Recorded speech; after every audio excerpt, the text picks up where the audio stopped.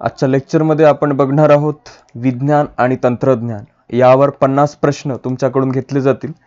Solve करून okay आणि आजच्या लेक्चरमध्ये खूप विशेष अशी जी काही माहिती आहे ती तुम्हाला मिळेल. आणि पन्नासही प्रश्न तुम्ही व्यवस्थित लक्षात ठेवा कारण यावरच आयोगाचा नेहमी भर असतो ओके आजच्या लेक्चरमध्ये आपण ओके तर माझा आवाज क्लिअर आहे ठीक आहे? सगळ्यांना येतोय? तुकाराम सर शीतल जाधव मॅम तुमचं स्वागत आहे. आजच्या लेक्चरमध्ये आपण विज्ञान आणि तंत्रज्ञान या विषयाला डिटेलमध्ये अभ्यासणार आहोत. आजची आपली टेस्ट नंबर तीन आहे. आपण पॉलिटी त्यानंतर इतिहास आणि आता हे विज्ञानाची टेस्ट आहे. तर आपल्या चॅनलला एक मेसेज आला. आज सकाळी काल की आज. तर यामध्ये शकुंतला तांबे मॅम यांनी केलेला हा मेसेज होता. यामध्ये त्या म्हणतायत की साडेसातचं जे आपलं लेक्चर होते ते या कोरोनाच्या अभ्यासात लोकांचं त्यांचं मन लागत नव्हतं पण हे जे आपले लेक्चर सुरू आहेत यामुळे त्यांना जे आहे ते विशेष प्रेरणा मोटिवेशन आणि हे मिळतंय. ठीक आहे? तुमचं खूप खूप आभार आहे. एम पी एस सी लक्ष संपूर्ण टीमकडून असाच अभ्यास करत राहा. ठीक आहे? सगळं श्रेय हे M P S C Lakshya YouTube चॅनलकडे जातं. आणि आपल्या आजच्या लेक्चरमध्ये तुमचं स्वागत करतो M P S C Lakshya YouTube चॅनलवरती तसेच ठीक आहे? असेच तुम्ही तुमचे अभिप्राय व्हॉट्सॲप नंबरवरती पाठवू शकता. ठीक आहे? आणि आपल्या चॅनलचं स्केड्यूल एकदा बघून घ्या. सकाळी दहा वाजता दीपक पवार सर सीसॅट घेतात. त्यानंतर दुपारी दोन वाजता रणवीर सिंग राजपूत सर जे आहे एन सी आर टी शिकवतात आणि त्यानंतर रात्री साडेसात वाजता हे आपलं आताचं लेक्चर सुरू आहे. ठीक आहे? यामध्ये आपण विज्ञान आणि तंत्रज्ञान आजच्या लेक्चरमध्ये बघणार आहोत. अन अकॅडमी ॲपबद्दल तुम्हाला दोन मिनिटात माहिती सांगतो. आपल्या चॅनलचे Sumit Tatte sir doctor Preeti ma'am आणि मी स्वतः अन अकॅडमीवरती लाईव्ह क्लास घेत असतो तर या लाईव्ह क्लासमध्ये जर तुम्हाला एंटर व्हायचं असेल प्लस सबस्क्रिप्शन घ्यायचं असेल तर तुम्ही Lakshya M P S C doctor Preeti किंवा सुयोग के हा जर कोड वापरला तर तुम्हाला ten to twenty five percent discount यामध्ये मिळू शकतो. चला तर मग सुरू करूया आपल्या लेक्चरला आपल्या चॅनलला लाईक सबस्क्राईब आणि शेअर करायला विसरू नका. आणि पहिला प्रश्न आहे तुमच्या स्क्रीनवरती खालीलपैकी कोणकोणत्या शाखांचा समावेश जैव तंत्रज्ञानामध्ये ब्रांचेस ऑफ बायोटेक्नॉलॉजीमध्ये होतो? पेशीशास्त्र म्हणजे सायटॉलॉजी सूक्ष्मजीवशास्त्र मायक्रोबायोलॉजी जैवरसायनशास्त्र बायोकेमिस्ट्री रेणवीय जीवशास्त्र मॉलिक्युलर बायोलॉजी जनुकीय अभियांत्रिकी जेनेटिक इंजिनिअरिंग. तर या शाखांपैकी कोणत्या शाखेचा समावेश बायोटेक्नॉलॉजीमध्ये जैवतंत्रज्ञानामध्ये होतो? तर तुमचा वेळ सुरू होतोय आत्ता. तुम्हाला पटापट उत्तर करायचंय.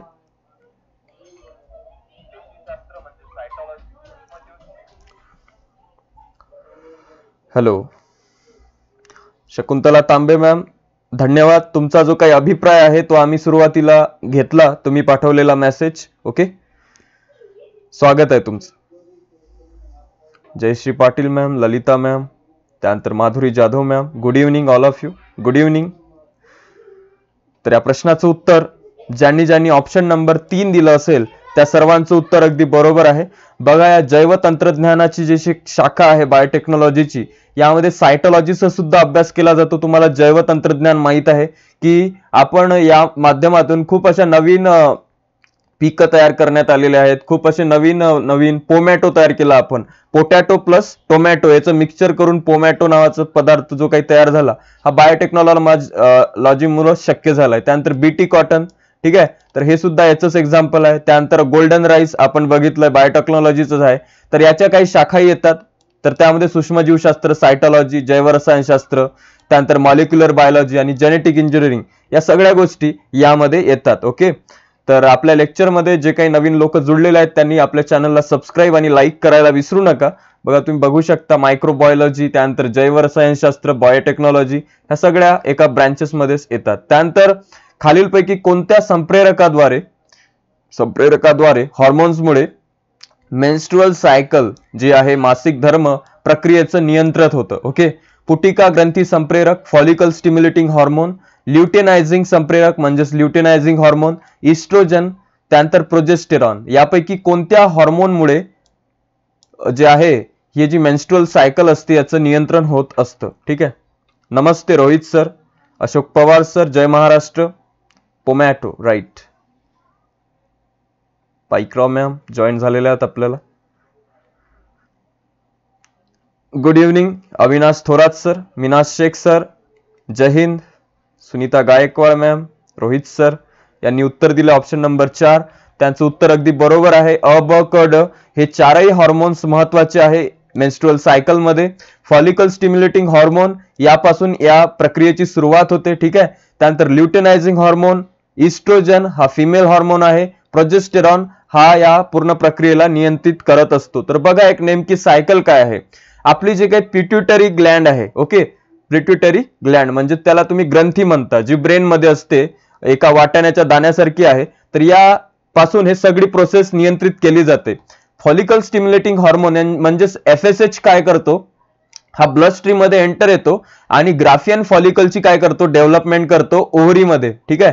ओव्हरीमध्ये. आणि तिथं इस्ट्रोजन नावाचा मग हॉर्मोन सिक्रिट होऊन एक युट्रसवर एक वॉल तयार होते ओके एक वॉल तयार होते. त्यानंतर प्रोजेस्टेरॉन हार्मोन एंटर होतो आणि प्रोजेस्टेरॉन हॉर्मोनमुळे इनिबिशन होतं आणि ब्रेकडाऊन ऑफ युट्रेस जे आहे हे लाइनिंग पूर्ण ब्रेक होते ज्यामध्ये ब्लड असतं. आणि यामधून F S H other other जे आहे पुन्हा सायकलमध्ये एंटर करतो.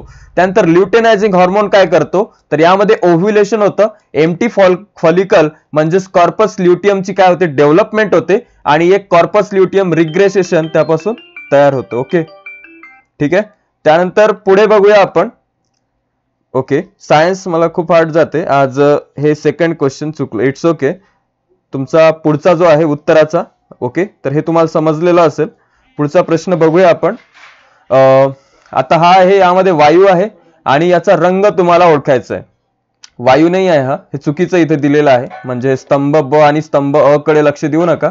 इथं तुम्हाला ओळखायचं आहे की कोणत्या गोष्टीचं एक्झाम्पल काय आहे ओके जस्ट स्टार्ट झालंय. व्हेजिटेटिव्ह प्रोकॅब प्रोपॅगेशन म्हणजे शाकीय प्रजनन हे याचं उदाहरण काय आहे? मूलकायन म्हणजेच बडिंगचं एक्झाम्पल काय आहे? खंडीभवन फ्रॅगमेंटेशनचं काय आहे? आणि पुनर्जनन म्हणजेच रिजनरेशनचं एक्झाम्पल काय आहे? यापैकी कोणतं उत्तर बरोबर आहे ते तुम्हाला सांगायचंय. ठीक आहे? आता हे आपल्याला दहावीत झालेलं आहे. आठवी मध्ये सुद्धा झालंय. दिनेश शेखर सर स्वागत आहे तुमचं. आदित्य सर यांचं उत्तर आलंय एक. आणि या प्रश्नाचं उत्तर एक अगदी बरोबर आहे. यावरून तुम्हाला बडिंग वरून आणि रिजनरेशन वरून तुम्हाला उत्तर आलेलंच असेल ठीक आहे? तर पुनर्जनन रिजनरेशन आपल्याला माहीत आहे त्याचं प्लॅनेरिया एक्झाम्पल आहे. प्लॅनेरिया ही एक पाल आहे ठीक आहे? तर ह्या पालीला तुम्ही जर कट केलं इथून जर कट केलं तरी हे जे ह्याही याच्या पालीच्या शेपटीमध्ये जीव राहतो आणि वरच्या भागामध्ये सुद्धा जीव राहतो. त्याचं एक्झाम्पल आहे रिजनरेशनचं ठीक आहे? आणि तिथं एक नवीन जे शेपटी आहे ती तयार होत असते जिथून ती तुटली ठीक आहे? तर हे रिजनरेशनचं एक्झाम्पल आहे. त्यानंतर हायड्रा हायड्रा हे जे आहे हे बडिंगचं एक्झाम्पल आहे okay budding what is bud? एक झाड आहे. त्याला एक बड फुटतं म्हणजे एक थोडस हे होतं. आणि त्यापासून एक जर अजून एक त्यापासून एक झाड तयार होत असेल ते बट खाली पडून किंवा त्यालाच अटॅच राहून तर ते एक बडिंगचं एक्झाम्पल आहे. व्हेजिटेटिव्ह प्रोपॅगेशन म्हणजे शाकीय प्रजनन म्हणजेच काय? तर पानफुटी ठीक आहे? आणि मूलकायन त्यानंतर हे बघितलं आपण. आणि खंडीभवन फ्रॅगमेंटेशन याचं जे एक्झाम्पल आहे ते आहे स्पायरोगॅरा ओके ओके. सगळ्यात अगोदर पायक्रोमॅमनी दिलंय. हायड्रावरून मिळते आन्सर राईट त्यानंतर बघा हे जे आहे व्हेजिटेटिव्ह प्रोपॅगेशन हे सगळं जे आहे ते असेक्शुअल रिप्रोडक्शनमध्ये येतं. म्हणजे अलैंगिक प्रजननामध्ये हे प्लांट्समध्ये होणारी जास्तीत जास्त एक क्रिया आहे. Vegetative propagation is any form of sexual reproduction occurring in plants in which new plant grows from a fragment या फ्रॅगमेंटपासून इथून जर कट जरी झाला तरी एक न्यू प्लांट काय होऊ शकतं? ग्रो होऊ शकतं ज्याला अटॅच केल्यावर ग्राफ्ट युनियन आणि हे व्रॅप करावं लागतं किंवा वॅक्स करावं लागतं. ठीक आहे? आर्टिफिशियली सुद्धा जास्त याचा उपयोग केला जातो. त्यानंतर बडिंग आहे. हायड्रामध्ये नेहमी बघितलं जातं. हे बघा इथे एक बर्ड तयार झालाय. पॅरेंट हायड्रामध्ये त्यानंतर डेव्हलप झालं ते बर्ड जे आहे. त्यानंतर एक नवीन बर्ड त्यापासून पूर्ण तयार झालं. आणि हे तुटून एक नवीन हायड्रा प्लांट तयार झालेला आहे. बल्ब लाईक प्रोजेक्शन ओके आणि हे सुद्धा एक असेक्शुअल रिप्रोडक्शनचं जे आहे ते ओके ओके. तर हा पूर्ण बडिंगचा जो आहे तो कन्सेप्ट आहे ओके? तुम्ही हा विषय निवडल्याबद्दल अभिनंदन. Thank you Ashok Pawar sir अमिबामध्ये binary fission और मल्टिपल फिजन होतं. अगदी बरोबर ठीक आहे? त्यानंतर आता बघू आपण फ्रॅगमेंटेशन फ्रॅगमेंटेशन काय असतं? तर organism that are fragmented result in each fragment grows into an individual organism आता हा हे जे प्लांट आहे हे कुठूनही कट झालं ठीक आहे? याला झूम करून दाखवतो. हे कुठूनही कट झालं तर हे ग्रो होईल. हा भाग जरी तुटला असेल तर इथूनही एक नवीन झाड तयार होईल. हा फ्रॅगमेंट जरी तुटला असेल यापासूनही एक नवीन तयार होईल. ह्या तुटला आहे याही पासून एक तयार होईल आणि वरचा तुटला याही पासून एक तयार होईल. याला फ्रॅगमेंटेशन असं म्हणतात. त्यानंतर रिजनरेशन काय होतं काय असतं? तर हे प्लॅनेरिया नावाचं जे आहे त्याचं एक्झाम्पल चांगलं आहे. पालीमध्ये तुम्ही नेहमी बघित बघता की पाल जर घाबरत असली किंवा घाबरत ती पुढे जेव्हा जाते त्यावेळेस तिची नेहमी शेपटी तुटत असते. शेपटी किंवा हात पाय तुटत असतात. तर यामध्ये त्यांना ते पुन्हा वापस येतात. त्यामध्ये पुन्हा रिजनरेशन होतं. तर हे रिजनरेशनचं एक्झाम्पल आहे. Occurs when an organism wants to regrow or lost limb of any other parts of the body ठीक आहे? याचा रिग्रो रिजनरेशन होते. ठीक आहे? तुटलेल्या भागाची. माणसामध्ये होतं का? एखाद्या माणसाचा पाय तुटला त्याला नवीन पाय येतो का? नाही येत. त्यानंतर एखाद्या व्यक्तीचा बोट तुटलं त्याला नवीन बोट नाही येत तर रिजनरेशन हे काही विशिष्ट अॅनिमल्समध्येच होतंय ठीक आहे? रिजनरेशनमध्ये बायनरी फ्युजन और मल्टिपल फ्युजन होतं. ओके अमिबामध्ये होतं. ओके ठीक आहे? त्यानंतर वनस्पतीमध्ये जे काही फुल आहे हे लैंगिक प्रजनाचं कार्य एक कार्यात्मक एकक आहे. ठीक आहे? तुम्हाला माहीत आहे. एक जे फूल असतं या फुलामध्ये खूप गोष्टी घडत असतात. आणि यामध्ये लैंगिक प्रजनन होत असतं. जास्वंदाचं फूल हे त्याचं चांगलं एक्झाम्पल आहे. त्यामध्ये एकूण चार मंडळे असतात आणि यापैकी अशा कोणत्या मंडळास अतिरिक्त मंडळे? म्हणजे तुम्हाला माहीत आहे ऍक्सेसरी होल्स असतात आणि अजून कोण असतात? जे असतात इम्पॉर्टंट किंवा आपण ज्याला म्हणू शकतो एक्सेसिव्ह किंवा ऍक्सेसरी यामध्ये लाभ डिवाइड केलेला आहे. ठीक आहे? तर यामध्ये तुम्ही सांगा तर यापैकी ऍक्सेसरी वर्ल्स कोणता आहे? म्हणजे जो जेवढा इम्पॉर्टंट नाही आहे पण तो पार्ट असतो. ठीक आहे? तर पुमंग आणि जायंग म्हणजेच अँडोशियम गायनोशियम. पुमंग आणि दलपुंज अँडोशियम कोरोला. जायंग आणि निदलपुंज जायनो गायनोशियम अँड कॅलिक्स. निदलपुंज आणि दलपुंज कॅलिक्स आणि करोला. यापैकी कोणतं उत्तर बरोबर आहे? तर यापैकी ऑप्शन नंबर चार या उत्तराकडे सगळे वळतायत. ठीक आहे? आणि उत्तर अगदी बरोबर आहे. कॅलिक्स आणि करोला. हा जो काही भाग आहे तो ऍक्सेसरी वर्ल्डचा भाग आहे. ठीक आहे? म्हणजे यामध्ये मेन पार्ट होत नसतो. कॅलिक्स करोलामध्ये प्लांटचं जे काही पेटल्स आहे त्या पाकड्या त्यानंतर त्या पाकड्यांच्या खाली असलेलं ते कवरिंग या सगळ्या गोष्टी कॅलिक्स आणि करोलामध्ये येतात. पण अँड्रोशियम आणि गायनोशियम हे मेन सेक्शुअल पार्ट्स आहेत फुलाचे ठीक आहे? मग इथंही अँड्रोशियम आहे मग हे कटलं गायनोशियम इथंही आहे हेही कटलं इथं तर पूर्ण अँड्रोशियम गायनोशियम आहे हे तर कटलंच कारण ते ऍक्सेसरी आहेच नाही. आणि कॅलिक्स करोला हे आहे ठीक आहे? ऍक्सेसरी बघा तर पेटल म्हणजेच काय? पाकडी हे करोलाच्या भागामध्ये येते. त्यानंतर पेरियांथ हा टोटल भाग असतो कॅलिक्स आणि करोला. याला पेरियांथ असं म्हटलं जातं. कॅलेक्समध्ये काय असतं? तर सेपल. सेपल म्हणजे काय? जो फुलाचा खालचा कव्हरिंगचा जो काही भाग दिसतोय झूम करून दाखवतो हा आहे सेपलचा भाग ओके? हा ग्रीन कलरचा. त्यानंतर हे आहे ओह्यूल. आणि या ओहुल मध्येच नेमकी क्रिया घडत असते जी की महत्वाची आहे ओके? आणि करोला आणि कॅलिक्स हे कशामध्ये येतं? ऍक्सेसरी मध्ये येतं ठीक आहे? त्यानंतर आपल्याला बघायचं आहे दोन प्रकारचे व्हॉल्स असतात ठीक आहे? यामध्ये जे आहे अँड्रोशियम आणि गायनोशियम हे रिप्रोडक्टिव्ह ऑर्गन्स आहे जे की मेन आहे ओके गायनोशियममध्ये पिस्टल्स येतात स्टिग्मा स्टाईल ओहरी या गोष्टी येतात. अँथर फिलामेंट येते ज्यावर पोलन ग्रेन्स जे आहे ते ड्रॉप आउट होत असतात. आणि या ड्रॉप झाल्यामुळं काय होत असतं की एक रिप्रोडक्टिव्ह ऍक्शन घडून येते ठीक आहे? स्टेमन आणि याचे जे येतात स्टेमन हे अँड्रोशियममध्ये येतं ओके येथे सर्व राईट आन्सर देतात एक्झाममध्ये बघूयात. ठीक आहे? ओके डन शुअर तर ऑप्शन नंबर चार जास्वंदाचं फुल एकदम बरोबर उदाहरण आहे. ठीक आहे? तर calyx corolla androecium gynoecium these are the example calyx and corolla are accessory organs and while androecium and gynoecium are reproductive organs of the plants okay त्यानंतर इथं पूर्ण डिटेलमध्ये आहे की ही जी प्रोसेस आहे ती कशी घडत असते? गायनोशियममध्ये आपल्याला बघूया कार्पेलचा भाग आहे. स्टिग्मा स्टाईल आणि ओहरी हा पूर्ण भाग ओव्हिल मेगॅस्पुरॅन्जिया आणि हा आहे अँड्रोशियम. पोलन ग्रेन याच्यावर एंटर होतात. त्यानंतर हे जे आहे अँथरच्या थ्रू यामध्ये एंटर होतात ओके? तर हे आहे पूर्ण अँड्रोशियम ओके? पेरियांत कोरोला आणि कॅलिक्सचा जो काही भाग असतो इथून तर इथपर्यंतचा याला पेरियांत असं म्हणतात ठीक आहे? करोला म्हणजे कंपोज ऑफ पेटल्स आणि कॅलिक्स म्हणजे कंपोट of sepals okay?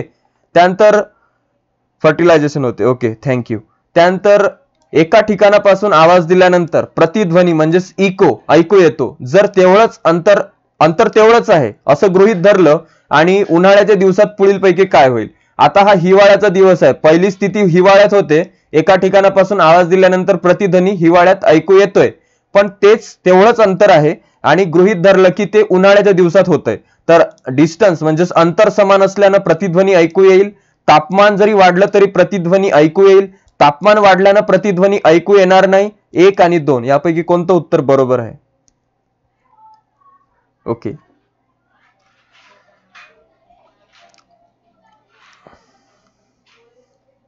Thank you Archana ma'am आपल्या चॅनलचं तुम्ही पेड सबस्क्रिप्शन घेऊन घ्या ठीक आहे? म्हणजे ज्याला आपण हे म्हणतो की ज्याला आपण काय म्हणतो की जॉईन करा. ठीक आहे? सबस्क्राईब बटनाच्या साईडला आहे ते. जर तुम्ही ते मेंबरशिप घेतली चॅनलची तर तुम्हाला यापेक्षा जास्त फायदा होईल आणि चॅनलला सुद्धा थोडाफार सपोर्ट होईल. ओके या प्रश्नाचं उत्तर तुम्ही तीन देताय. आणि अगदी बरोबर उत्तर आहे तीन. तापमान वाढल्यानं प्रतिध्वनी ऐकू येणार नाही. ठीक आहे? तापमान जर वाढलं तर हा जो इको आहे तो ऐकू येत नाही. इको तुम्ही एखाद्या ठिकाणावर गेला असेल उंचावरच्या किंवा महाबळेश्वर असो चिखलदरा असो इथं जर तुम्ही आवाज दिला तर तुमचा तुम्हाला प्रतिध्वनी आवाज येतो ठीक आहे? असं एखादं नाव दिलं समजा तर ते नाव तीन चार वेळा ऐकू येतं. त्याला इको असं आपण म्हणतो. तर तापमान वाढलं तर हा इको ऐकूच येत नाही ठीक आहे? ज्या ठिकाणी तापमान जास्त आहे. का ऐकू येत नाही? तर डेन्सिटी कमी होते वातावरणातली ठीक आहे? जे डेन्सिटी जर कमी झाली तर हे जे आहे एअर ते डायरेक्टली पास होते. बघा तुम्ही पाण्यामध्ये जर आवाज दिला पाण्याखाली तुम्ही आहात आणि पाण्याखालून तुम्ही गिटार वाजवताय ठीक आहे? पाण्याखालून. पाण्यामधून तो आवाज जायला खूप त्रास होईल किंवा खूप वेळ लागेल कारण ते कूल कंडिशन आहे. तिथं साऊंडचे जे काही वेव्ज आहेत ते ट्रॅव्हल फास्ट होणार नाही. स्लो ट्रॅव्हल होतील कूलर कंडिशनमध्ये. पण वॉर्मन कंडिशन जर असेल ओपन ग्राउंड असेल तर तो आवाज खूप ठिकाणी जो आहे तो पसरतो ठीक आहे? एखाद्या ओपन ग्राउंडमध्ये ओके आर्द्रता कमी असते ओके ठीक आहे. असं आहे ते पूर्ण कंडिशन तुम्हाला लक्षात आली नसेल तर या चित्रावरून लक्षात घ्या. हा मुलगा ग्राउंडवर गिटार वाजवतोय. जेव्हा हा ग्राउंडवर गिटार वाजवतो तर इथं तापमान पण जास्त आहे आणि हा जो वाजवतोय याचा आवाज जास्त दूर साऊंड जो आहे तो ट्रॅव्हल होतोय. पण जेव्हा याचा आवाज पाण्याच्या वरच्या थरावरून ऐकण्यात आला कूलर कंडिशन मधून तर इकडे आवाज येत नाही. ठीक आहे? किंवा कमी साऊंड जो आहे तो ट्रॅव्हल होतोय. ओके ओके हळू होईल डेन्सिटी कमी होते. त्यानंतर उत्क्रांतीवर आधारित वर्गीकरण. Classification on the basis of evaluation okay evolution ठीक आहे? त्यानंतर पद्धतीचा अवलंब करून यांना प्राण्यांचे वर्गीकरण क्लासिफिकेशन ऑफ अॅनिमल केले. यांनी केले ओके यांनी प्राण्यांचं वर्गीकरण म्हणजेच क्लासिफिकेशन ऑफ अॅनिमल केलं. कोण आहे? ठीक आहे?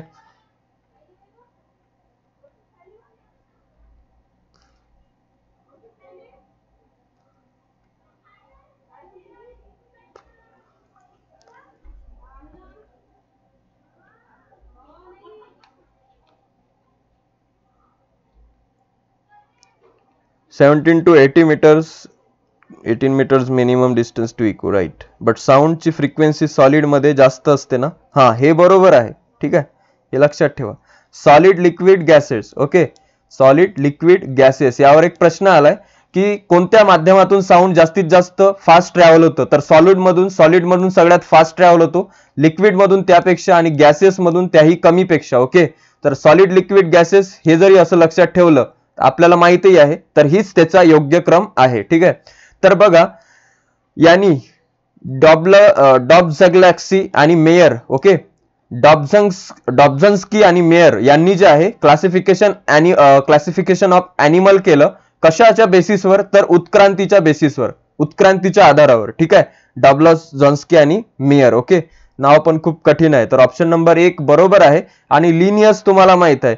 या व्यक्तीनं बायनॉमियल नॉमेन क्लिएचर दिलं ओके आता बायनॉमियल नॉमेन क्लिएचर म्हणजे काय? तर एखाद्या गोष्टीला नाव नाव देणे. मँगीफेरा इंडिका कशाचं नाव आहे? सांगा बरं. त्यानंतर होमोसेपियन सेपियन ओके माणसाचं नाव आहे. असे नावं देण्याची जे काही पद्धत सुरू केली ती कार्लस लिनियस कार्ल लिनियस या व्यक्तीने सुरू केली ओके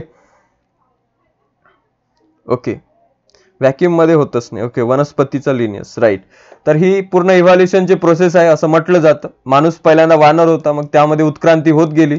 मग तो आता खूपच हे झालाय ठीक आहे. आता तो कम्प्युटरवर बसतोय आणि एक इंटरनेटवर फोटो आहे की एक जण सांगतोय की पुढे खूप जीवन कठीण आहे. आता वापस चला इकडे माग ठीक आहे.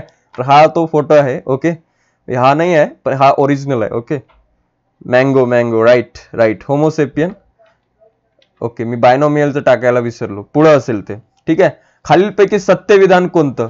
समपृष्ठ रज्जू प्राण्यांचं म्हणजेच कॉर्डेटचं हृदय शरीराच्या अधीर बाजूस म्हणजेच वेंट्रल साईडला असतं. ओके? वेंट्रल साईड म्हणजेच काय? आणि डॉर्सल साईड म्हणजेच काय? तर हे बघा. समपृष्ठ रज्जू प्राण्यांचं म्हणजेच नॉन कॉर्डेट हृदय पृष्ठभागूच असतं. म्हणजे डॉर्सल साईडला असतं. ओके? Dorsal side. आता व्हेंट्रल आणि डॉर्सल यामध्ये थोडाफारच फरक आहे ओके आता माणूस असा उभा असतो तर याच्या या भागाला हृदय असतं का? उत्तर नाही सांगतोय. आणि व्हेंट्रल म्हणजेच प्राणी जर असा असेल आडवा तर याच्या या बाजूस असतं का? असा प्रश्न आहे ठीक आहे? तर या प्रश्नाचं उत्तर ज्यांनी दोन दिलंय अगदी बरोबर उत्तर आहे. बघा समपृष्ठरज्जू प्राण्यांचं म्हणजेच कॉर्डेटचं हृदय शरीराच्या अधीर बाजूस म्हणजेच वेंट्रल साईडला असतं बरोबर आहे. आणि समपृष्ठरज्जू प्राण्यांचं म्हणजे नॉन कॉर्डेटचं हृदय शरीराच्या पृष्ठबाजूस म्हणजेच डॉर्सल साईडला असतं. हे बरोबर आहे ठीक आहे? अधर आणि पृष्ठ. व्हेंट्रल म्हणजे पुढची साईड ओके आणि डॉर्सल म्हणजे मागची साईड अच्छा हे आहे बरोबर. राईट राईट डॉर्सल म्हणजे मागची साईड हा हे बरोबर आहे ओके म्हणजे समपृष्ठ रज्जू आपण कॉर्डेट्स आहेत ठीक आहे? माणूस काय आहे? कॉर्डेट आहे. आपल्या अधीर बाजूस आहेत हृदय ठीक आहे? कॉर्डेट म्हणजे काय? की ज्यांना मागचा पाठीचा कणा आहे ठीक आहे? आपल्याला आहे ना पाठीचा कणा?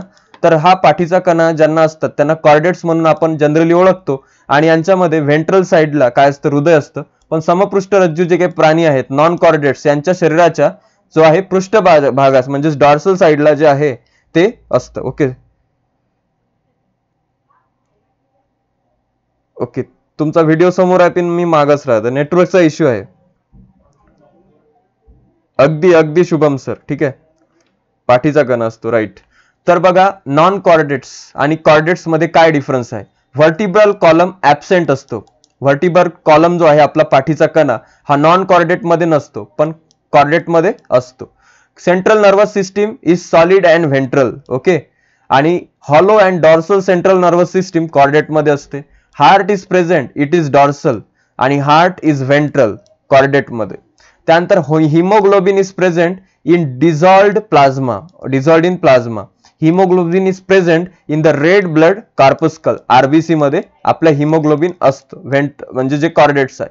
The anus is a posterior so no post anal tail protozoa arthropoda आणि अॅनेलिडा हे काही एक्झाम्पल आहे नॉन कॉर्डेटचे आणि पायसेस त्यानंतर एव्ज पक्षी रेप्टेलिया म्हणजे सरपटणारे आणि मॅमल्स म्हणजे ज्यामध्ये आपण येतो तर हे सगळे कॉर्डेट्समध्ये येतात okay all members please like please like the lecture okay त्यानंतर बघा मी एक फोटो टाकला होता तोही डिलीट झाला. खालीलपैकी कोणत्या प्राण्यांची रचना गोलीय सममित म्हणजे स्पेरिकल सिमेट्री आहे? ठीक आहे? Spherical what we know about spherical spherical is a like open hollow structure, okay? एक गोल तर आहेच तो स्पेरिकल म्हणजे, पण पूर्ण गोल आहे, भरीव गोल म्हणजे स्पेरिकल ओके? तर कोणाची आहे स्पेरिकल सिमेट्री उन फ्रॉग, उंदीर, सी अर्चिन, की यापैकी नाही, ओके? ऑप्शन नंबर तीन असं उत्तर येते पूजा जाधव मॅम, अगदी बरोबर उत्तर आहे ऑप्शन नंबर तीन, सी अर्चिन. सी अर्चिन कसा असतो? गोल असतो. आणि याची गोलीय सममित स्पेरिकल सिमेट्री आहे. बेडकाची सिमेट्री कशी आहे? बायलॅटरल सिमेट्री ओके आपण जर बेडकाला कापलं मधातून तर तो बायलॅटरली जो आहे तो डिवाइड होतो. उंदराची सिमेट्री बायलॅटरल आहे. बघा त्यानंतर रॅडियल सिमेट्री कशाची आहे? तर प्लेन्स म्हणजे असा कट आउट जर केला एखाद्या प्लांटचा जे तुम्ही असा एक तुमच्याकडे आहे आणि याचे जर असे कट केले आणि इकडून सुद्धा असेच कट केले तर ही झाली रॅडियल सिमेट्री त्यानंतर बायलॅटरल सिमेट्री म्हणजे हा जो काही विंचू दिसतोय, याला आपण बायलॅटरली डॉर्सल साईडने कट केलं. हे त्याची अँटेरियर साईड पोस्टेरियर साईड आणि प्लेन ऑफ़ सिमेट्री कशी आहे? डॉर्सल आहे. ओके ह्युमन मध्ये बायलॅटरल सिमेट्री असते, अगदी बरोबर. कटेरी सिअरचिन ओके काटेरी सिअरचिन सर, उद्या इको घ्याल का? ओके बिलकुल. त्यानंतर बायलॅटरल सिमेट्री ही असते. रॅडियल सिमेट्री म्हणजे आपण एक स्टार फ़िश कट आउट केलाय. ठीक आहे? पण हा एवढाच कट करू शकतो. याला जर मधात नाही कट करू शकत म्हणजे हा स्पेरिकल सिमेट्रीत येत नाही. पण सी अर्चिन जो आहे पूर्ण गोल आहे याच्यावर काटे असतात. आणि याला आपण स्पेरिकली म्हणजे क्रॉसमध्ये आणि मधात प्लसमध्ये सुद्धा कट करू शकतो. तो असतो एक स्पेरिकल सिमेट्रीचा प्रकार. ओके? दोन भाग झाले तर ओके सर्व राईट आले आतापर्यंत. गुड आणि एक असं एक्झाम्पल आहे हा व्यक्तीला जर असा कटही केला हा पॉलिमॉथ आहे याला हा असिमेट्रिकल आहे. हा कसाही कट केला तुम्ही तर हा सिमेट्रिकल कट होत नाही. बायलॅटरली सिमेट्रिकल म्हणजे होत नाही हा. हा असिमेट्रिकल आहे ओके म्हणजे याचे पाय वेगळ्याच ठिकाणी जात आहेत. काही एक पाय असा आहे आडवा आणि हे पंखही असं थोडेसे आळवे तिळवे आहे त्यामुळे हा असिमेट्रिकल आहे. पायला मोथ पायला असं याचं नाव आहे. हा किळा आहे एक ओके लक्षात ठेवा. त्यानंतर इथेनमध्ये सी टू एच सिक्समध्ये किती सहसंयुज ओके? सहसंयुज म्हणजे कोव्हॅलंट बॉन्ड असतात. तर ज्यांना कोव्हॅलंट बॉन्ड आणि आयोनिक बॉन्ड काय असतं त्यांना हा प्रश्नाचं उत्तर येईल. सहा सात आठ नऊ okay? Radial symmetry starfish okay? Okay okay.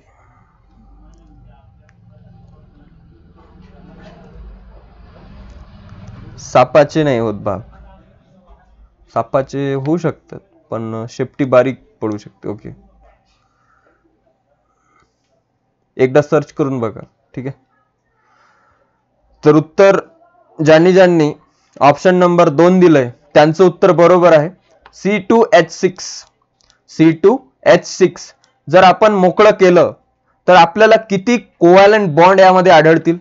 Can you imagine तर समजा आपण कट केलं okay just we focus on it okay on the structure of ethane आता यामध्ये आपण हायड्रोजनचे आपल्याकडे सहा आहेत मॉलिक्यूल आणि कार्बनचे किती आहेत? दोन आहेत.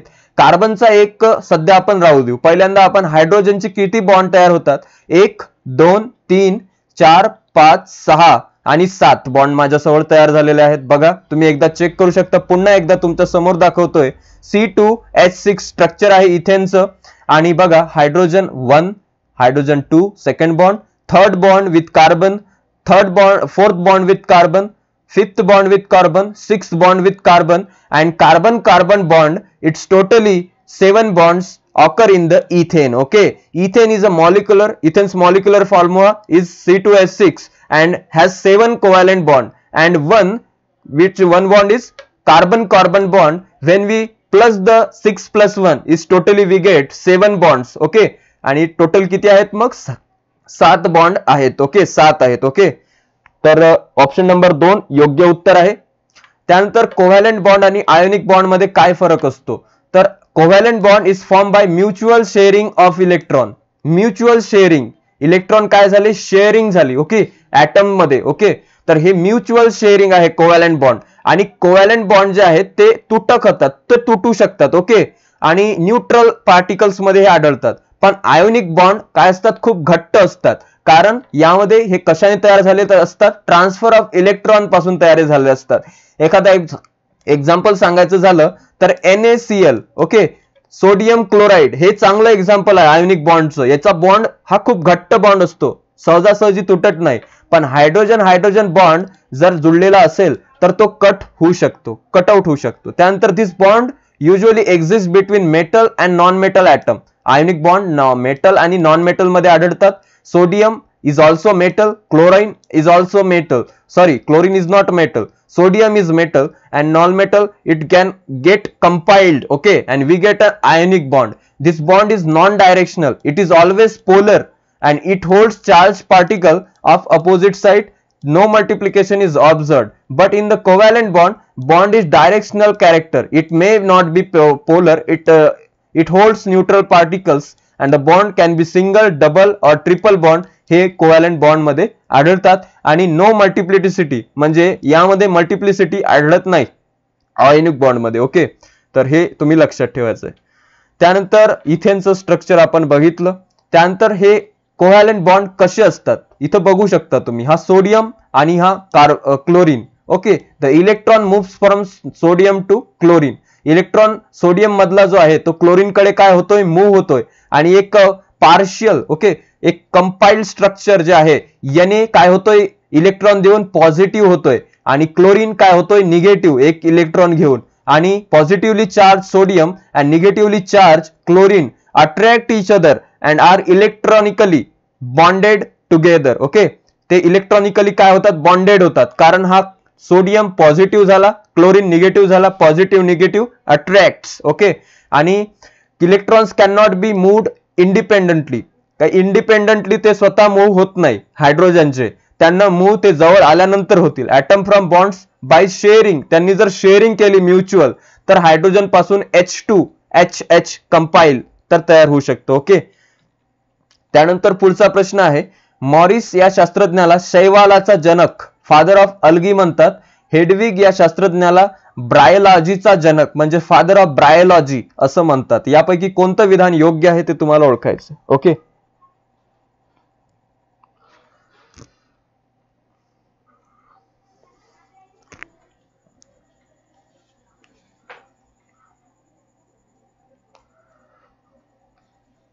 निकेश सर थोडस तुम्ही लेट झालेत. ओके रोहित आष्टेकर सर अवघड नाही आहे सोपंच आहे. पुन्हा एकदा बघा ठीक आहे? मागं ओके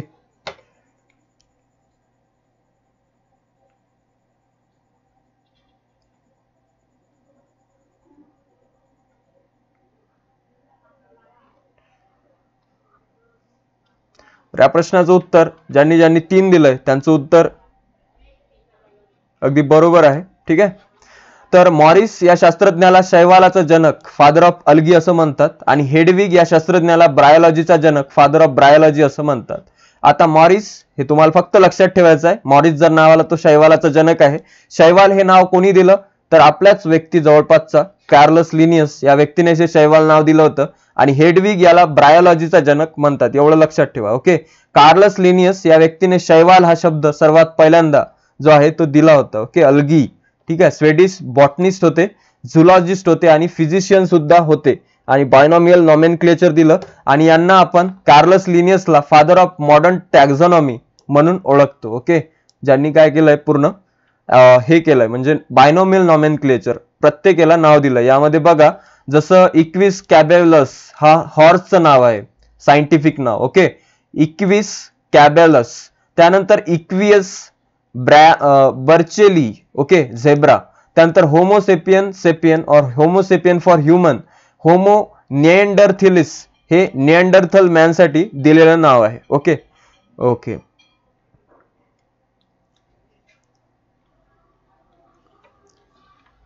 त्यानंतर कॅरल्सलिनियस त्यानंतर आता काही वायू आहेत ठीक आहे?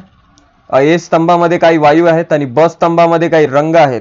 यांच्या तुम्हाला योग्य जोड्या लावायचे हेलियम ॲरेगॉन झेनॉन आणि नियॉन हे काही वायू आहेत. यांचा रंग कोणता आहे? ते तुम्हाला ओळखायचं. लाल नारंगी हिरवा जांभळा पांढरा.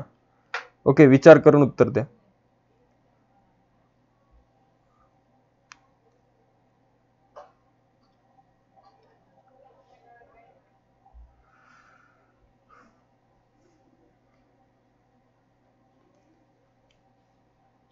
थँक्यू सुनीता मॅम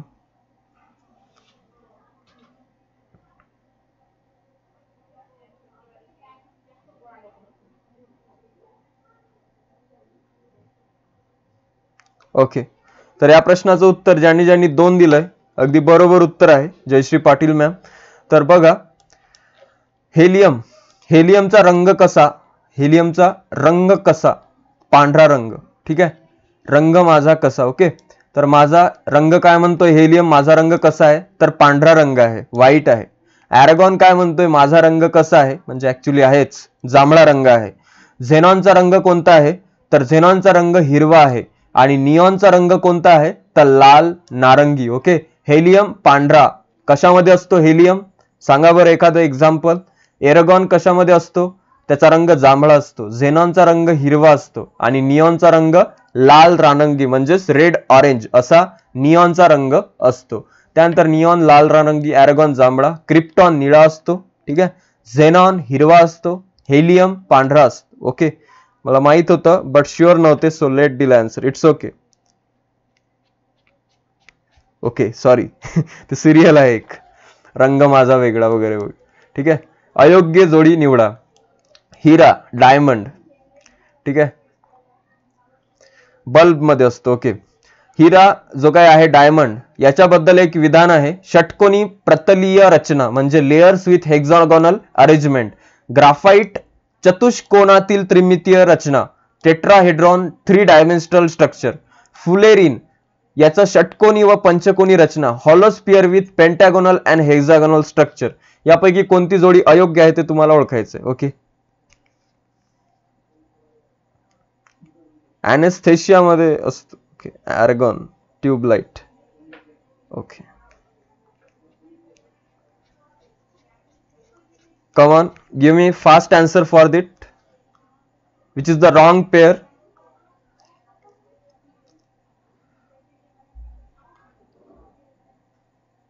या प्रश्नाचं उत्तर ज्यांनी ज्यांनी ऑप्शन नंबर एक दिलंय त्यांचं उत्तर अगदी बरोबर उत्तर आहे.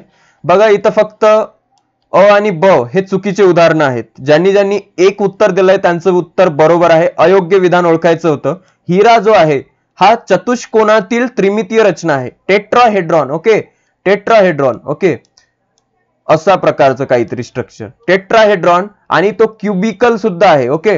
Dimensional structure what is dimensional three D we know about three D three dimensional ठीक आहे? तुम्ही गुगलवर मॅप बघता थ्री डी त्यानंतर two D two D we actually see on the TV this is the three D and when we go to the cinema hall or the movie which has जे movie three D असते ती three D goggles आपल्याला देतात त्यामध्ये सगळं three D दिसतं. तर हे जे आहे हिरा हा एक थ्री डी आहे ठीक आहे? थ्री डी आणि एक चतुष्कोनीय त्रिमितीय रचना असलेला आहे. ग्राफाईट हा षटकोनी प्रतलीय रचना म्हणजे हेक्झॅगोनल अरेंजमेंट आहे ओके आणि फुलेरिन हा षटकोनी पंचकोनी रचना म्हणजे hollow sphere with pentagonal and hexagonal structure okay graphite हे षटकोनी प्रतलीय रचना असते ओके तर लक्षात ठेवा. Tetrahedron what is tetrahedron this is tetrahedron what is cube घन त्यानंतर octahedron that is octahedron icosahedron this is icosahedron dodecahedron this is dodecahedron okay and this is the diamond. Graphite is composed of layer of uh, uh, layers of carbon that uh, that are arranged in six membered hexagonal rings. Six member कोणती आहे? Hexagonal एक ring आहे ग्राफाईटमध्ये. आणि tetrahedral diamond cubical structure कशामध्ये आहे? Eight ॲटमचं तर ते आहे डायमंडमध्ये ओके अच्छा केलं होतं. त्यानंतर पुढचा प्रश्न आहे. एक स्तंभ एक आहे ज्यामध्ये तुम्हाला ॲनिमल्स दिलेले आहेत आणि एकामध्ये अभ्यासशास्त्र म्हणजे स्टडी ऑफ त्यानंतर इकडे आहे सरीसृप लिझार्ड स्नायू मसल्स सेवाल अलगी. सगळं इंग्रजीतही आहे. आणि मायोलॉजी फायकोलॉजी हर्पॅटॉलॉजी आणि सोरालॉजी तर याचं तुम्हाला योग्य जोड्या लावायचे. ठीक आहे? Allotrope of carbon graphite is a allotrope of carbon okay right Aditya sir हा. कोणती जोडी चुकीची आहे ते सांगितलं. मग ते अ आणि ब त्याचं उत्तर होतं.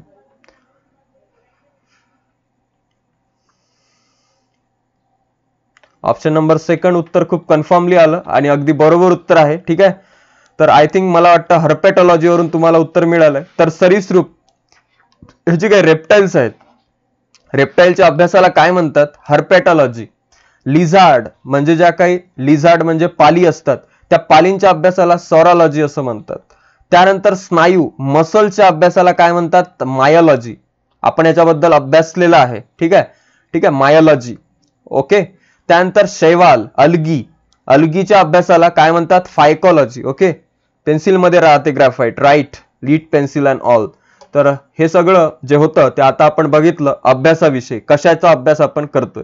This is a kind of some what we know about reptile okay reptile or री lizard okay this kind of lizard found generally in the desert regions okay and large number of and size is more larger than normal lizard okay so study of muscles myology right okay त्यावरून तुम्हाला आलंय ते. अलगी माहीत होतं sir okay अलगीचा अभ्यास म्हणजेच फायकॉलॉजी okay शेवाल फायकॉलॉजी त्यानंतर ऍप्सिसिक acid हे नैसर्गिकरित्या आढळणारं वाढ खुंटवणारं संप्रेरक हॉर्मोन आहे. ऍप्सेसिक आम्लामुळे आरण्य व प्रथिन यांच्या संश्लेषणाचा दर कमी होतो.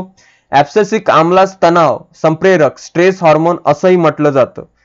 या प्रश्नाचं उत्तर काय आहे योग्य ते तुम्हाला ओळखायचं मसल्स वरून सुद्धा आलं. राईट अच्छा तीन नंबरचं येत होतं. त्यावरून तुम्ही ते उत्तर काढले.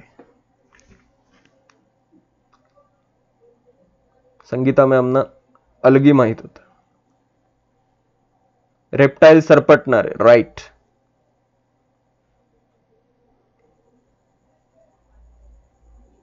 धन्यवाद Manish sir.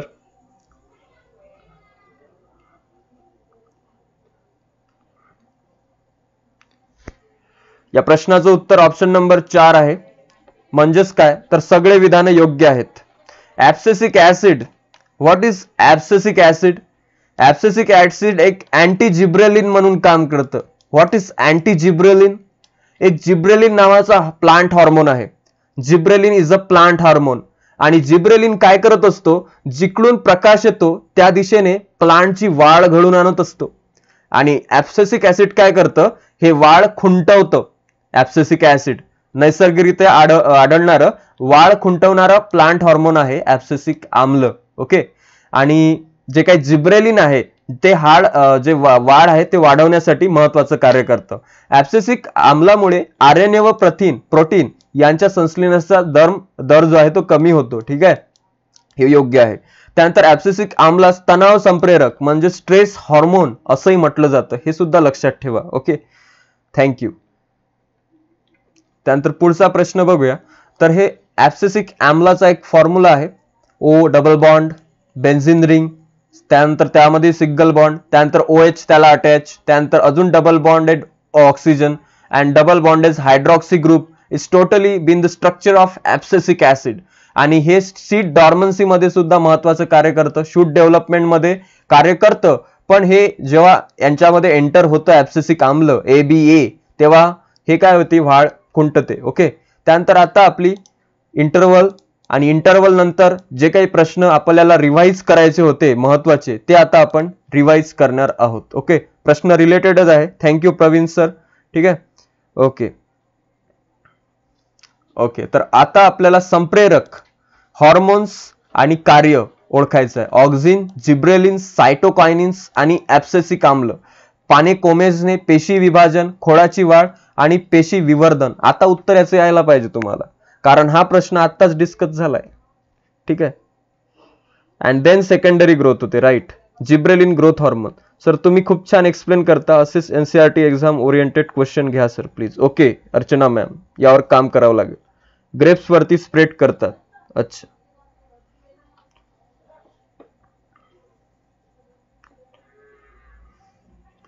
Option number second असं उत्तर आलंय. सेकंड सेकंड आणि अगदी बरोबर उत्तर आहे सेकंड चार तीन दोन एक. ऑक्झिनचं काम काय असतं रे? ऑक्झिनचं काम असतं पेशी विवर्धन. पेशीचं काय करणे? विवर्धन करणे. सांगतो इंग्रजीमध्ये. टेन्शन नका घेऊ. जिब्रेलिनचं काम करणं काय असतं? तर खोळाची वाढ करणे. ठीक आहे? ओके तर हे खोळाची वाढ करणे महत्वाचं काम कशाचं आहे? जिब्रेलिनचं. या हॉर्मोनचं सायटोकायनिन काय करतं? पेशीचं विभाजन. सेल डिव्हिजन आणि ऍप्सेसिक आम्ल काय करतं? पाण्याचं कोमजणं. पाणी जेव्हा कोमेजतात ना तर पानामधून जेव्हा पाणी कमी होतं एच टू ओ कमी होतं वॉटर कमी होतं तेव्हा पाणी कोमेजतं. पान कोमेजतं आणि यामध्ये काय एंटर झालं असतं? हे पाणी कोमजतं. तर ह्यामध्ये काय झालं असतं? एंटर ऍप्सेसिक ऍसिड त्यामुळे हे पान कोमेजतं. आणि आताच एक ऍप्सेसिक ऍसिडचा आपण बघितला की हा स्ट्रेस हॉर्मोन म्हणून सुद्धा ओळखला जातो. त्यानंतर ऍप्सेसिक ऍसिड हा अजून काय म्हणून ओळखला जातो? तर तो खुंटण्यामध्ये जो आहे झाडाची वाढ खुंटण्यामध्ये सुद्धा महत्वाचं कार्य करतो. अँटी जिब्रेलिन म्हणून ओळखला जातो. तर पहिल्यांदा आता बघणार आहोत आपण ऑक्झिन्स. ऑक्झिन्सबद्दल आता मी तुम्हाला थोडंसं चुकीचं सांगितलं मागच्या मध्ये की सनलाईटच्या द्वारे जी काही झाडाची वाढ होत असते ती ऑक्झिन्स या हॉर्मोनमुळे होत असते. ठीक आहे? Auxin eradication causes terminal bud to point toward the sun आणि बट कशाकडे टर्मिनेटेड असतं? तर सनलाईटकडे ओके? तर हे नेमकं होत असतं ऑक्झिन्स या हॉर्मोनमुळे ओके? आणि sunlight from above the plant produce auxins to equal amount around the shoot and the shoot growth straight okay terminal bud आणि हे इलॉंगेटेड झालंय. Sunlight from one side and sun irrigated irrigated oxygen in the sun side causing cell on the shady side grown longer this make the T point toward the sun आणि auxin मुळे हे झाडाची वाढ सुद्धा होते. आणि ते एका सूर्यप्रकाशाच्या दिशेने होते. कारण झाडाला सूर्यप्रकाश खूप महत्त्वाचा आहे. कोणत्या क्रियेसाठी? फोटोसिंथेसिस प्रकाश संश्लेषण. त्यानंतर जिब्रेलिन स्टेम इलॉंगेशनसाठी महत्वाचं कार्य करतं ओके? तर स्टेम इलॉंगेशनसाठी जिब्रेलिन्स महत्वाचं काम करतं. आता स्टेम म्हणजे काय? तर खोळ. खोळाची वाढ होण्यासाठी जिब्रेलिनचं काम महत्वाचं आहे. आणि एनहान्सेस इफ ऑक्झिन प्रेझेंट. बघा ऑक्झिनचा सुद्धा जिब्रेलिनमध्ये संबंध येतो. आता आपण जिब्रेलिन प्लस ऑक्झिन जर केलं तर ते झाड खूप पुढे जाणार आहे. ते खूप झाड खूप मोठं होईल ठीक आहे? त्यानंतर found in apical portions of stem and roots जो काही अपायकल पार्ट आहे स्टेम आणि रूटचा त्यामध्ये आढळतं apply to dwarf plants restore the normal growth आणि जे काही बुटके झाडं आहेत त्या बुटक्या झाडांमध्ये जर आपण ऑक्झिन आणि जिब्रेलिन ऍड केलं किंवा हे हॉर्मोन्स त्यांच्यामध्ये एका सुईद्वारे किंवा कोणत्याही गोष्टीतून जर एंटर आउट केले तर त्यांची वाढ होऊ शकते. ठीक आहे? त्यानंतर फंक्शन ऑफ सायटोकॉयनिन्स आता सायटोकॉयनिनचं फंक्शन काय आहे? सेल डिव्हिजनमध्ये महत्वाचं कार्य सायटोकॉयनिनचं आहे. माय मॉर्फोजेनेसिससाठी lateral bud bud development cytokinins delay of substance cytokinins टोमॅटोल opening stomata which is in this which in which part stomata is present in the what we known as पानामध्ये. ठीक आहे? पानामध्ये स्टोमा असतात. त्यामध्ये stomata the region which opens out okay and rapid transport in the xylem stream हे सुद्धा सायटोकायनिनचं function आहे. त्यानंतर stoma कसा ओपन होतो? ठीक आहे? याच्यामध्ये एस टी ओचं प्रेझेंट असतं आणि स्टोमा क्लोजिंग ज्यावेळेस वॉटर दोन्ही वेळेस प्रेझेंट असतं आणि गार्ड सेल्स त्याला प्रोटेक्ट करत असतात ओके त्यानंतर अँसर लेट येतात थँक्यू स्वप्नाली मॅम ठीक आहे?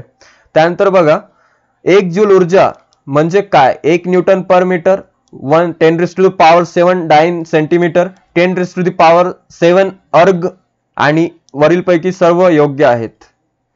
काय आहे योग्य? Stomata leaf right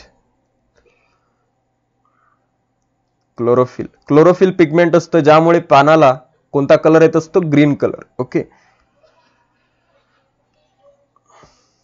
आदित्य सरांचं उत्तर चार आलंय आणि अगदी बरोबर उत्तर आहे. प्रॅक्टिस तुमची लक्षात राहिली. हे सगळे उत्तर बरोबर आहेत. ऊर्जा एक जूल एक joule is equal to one newton one metre. Ten raise to the power seven erg okay त्यानंतर ten raise to the power seven dyne centimetre okay हे सगळं जे एकक आहेत ते सगळे ऊर्जेचे एका ज्यूलचे आहेत. Ten raise to the power seven ergs and all newton per meter kilogram in mass and what is हे जे एस आय युनिट आहे ज्यूल हे कशासाठी आहे रिप्रेझेंट केलं जातं? एनर्जीसाठी एनर्जी काउंट करण्यासाठी ज्यूल हे एकक वापरलं जातं. Capacity to do work capacity to do work and generate heat काय तयार करणे? हीट तयार करणे. Okay this is the example of it त्यानंतर मूलद्रव्यांच्या इलेक्ट्रॉनिक स्वरूपाच्या इलेक्ट्रॉनिक कन्फिग्रेशनच्या आधारे आवर्त सारणीची विभागणी चार खंडामध्ये केली. फोर ब्लॉक्स तुम्हाला माहीत आहे. यामध्ये S P D F we know about that आणि खालीलपैकी यस खंड मूलद्रव्य कोणती आहेत? यस ब्लॉकमध्ये येणारी मूलद्रव्ये कोणती आहे? Hydrogen, helium, lithium, sodium, neon की पोटॅशियम. यापैकी कोणतं उत्तर बरोबर आहे? तुमचा वेळ सुरू होतोय आत्ता. Okay. Green chlorophyll pigment is possible for photosynthesis right Rajshree ma'am okay calorie also use right right सभी के सभी लोग जो हमको जुड़े हुए हैं लाइक बटन पे क्लिक करना ना भूले। जो काला बटन है लाइक का थम का, उसको ब्लू कर देना है ठीक है? आप करेंगे मुझे पूरा विश्वास। ऑप्शन नंबर सेकंड असं उत्तर येते. आणि ऑप्शन नंबर सेकंड हे उत्तर अगदी बरोबर उत्तर आहे. ई सोडून बाकी सर्व ठीक आहे? नियॉन सोडून बाकी सर्व हे जे सगळे आहेत hydrogen helium lithium potassium sodium हे यस मधलेच आहेत. सुरुवातच यसपासून होते ना? आणि ज्यांच्या वीस ज्यांचे पाठ आहेत ठीक आहे? ज्यांचे वीस ऍटलिस्ट पाहत आहेत मूलद्रव्य त्यांना माहितच आहे की सुरुवातीचेच मूलद्रव्य आहेत हे हायड्रोजन हेलियम सोडियम पोटॅशियम आणि हेलियम हे ऑब्विसली मग कशामध्ये येणार आहे? जे एस ब्लॉकमध्येच येणार आहे. निऑन कोणत्या ब्लॉकमध्ये येतो? नियॉन जर बघितला तर तो पी ब्लॉकमध्ये येतो. ठीक आहे? त्यानंतर डी ब्लॉक एलिमेंटमध्ये scandium titanium vanadium chromium मॅग्ने manganese iron cobalt nickel copper zinc हे सगळं डी ब्लॉकमध्ये येतं. हायड्रोजन हेलियम जरी इकडे आपण टाकला तो शोकेस म्हणून टाकलेला आहे थोडंसं चांगलं दिसावं. पण हा हायड्रो हेलियम जो आहे हेलियम ओके हा हेलियम हा एस ब्लॉक मधलाच आहे. Lithium beryllium sodium magnesium potassium calcium rubidium सेरेनियम caesium barium सगळे जे आहे ते एस ब्लॉक एलिमेंट आहेत. त्यानंतर लॅन्थेनाइट सिरीज आणि ऍक्टिनाइट सिरीज ही एफ ब्लॉक एलिमेंटमध्ये येते. हे लक्षात ठेवा. पी ब्लॉकमध्ये helium neon argon halogens all about fluorine chlorine bromine iodine ते सगळे याच्यामध्ये येतात पी ब्लॉकमध्ये okay neon is a inert gas okay neon inert gases आहेत आणि फ्लोरिन क्लोरिन ब्रोमिन आयोडीन हे हॅलोजन्स आहेत. Sorry for that seventeen group elements and these are the eighteen group element Haley neon argon krypton xenon radon okay neon हा राजवायू आहे का sir सांगा please neon राजवायू आहे ओके म्हणजे ज्याला तो कोणाचे एलिमेंट घेतही नाही आणि कोणापासून घेतही नाही आणि कुणाला देतही नाही तो स्वतःचा स्वतः मालक आहे ठीक आहे? पण हे जे फ्लोरिन क्लोरिन जो ब्रोमिन आयोडीन आहेत तर यांना एकाची गरज असते ठीक आहे? यांचा पूर्ण ऑक्टेट कंप्लीट नसतो ठीक आहे? टू सेवन म्हणजेच काय? टू सेवन याला एकाची गरज आहे ऑक्टेट कंप्लीट करण्यासाठी. तर ते सगळे सेवन्टीन ग्रुप एलिमेंट्स असतात ठीक आहे? त्यानंतर दहावीला पाठ करून घेतले होते आमच्या काळे मॅडमने ओके तर तुम्ही लक्षात ठेवले नाही. ठेवले असेल तर तुम्ही याचं उत्तर बरोबर दिलं असेल. मी बघितलं नाही पण आय थिंक बरोबरच दिलंय. ठीक आहे? तर सिद्धांत आणि शास्त्रज्ञ यांच्या योग्य जोड्या लावायच्या. अणुसिद्धांत कोणी दिला? ॲटॉमिक थेअरी त्यानंतर प्लम पुडिंग मॉडेल कोणी दिलं? केंद्रकीय आणि अनिप्र अणुप्रतिकृती म्हणजे न्यूक्लिअर मॉडेल कोणी दिलं? ग्रहीय अनुकूल अनुप्रतिकृती म्हणजे प्लॅनेटरी मॉडेल कोणी दिलं? ऑप्शन्स आहेत. John Thomson Dalton Niels Bohr रुबर Rutherford. याचं उत्तर करा. हे थोडंसं क्लिअर करून देतो कारण हे तुम्हाला दिसणार आहे. Okay but sir helium helium कसं येतं? Halogen group most reactive group okay neon argon radon xenon it doesn't take part in any reaction मोस्टलीनं शोध लावला टेबलचा राईट हेलियम इनर्ट ग्रॅसनं ओके सगळेच पाठ केले होते शाळेत. लक्षात कुठे राहिलं आता? ओके ठीक आहे.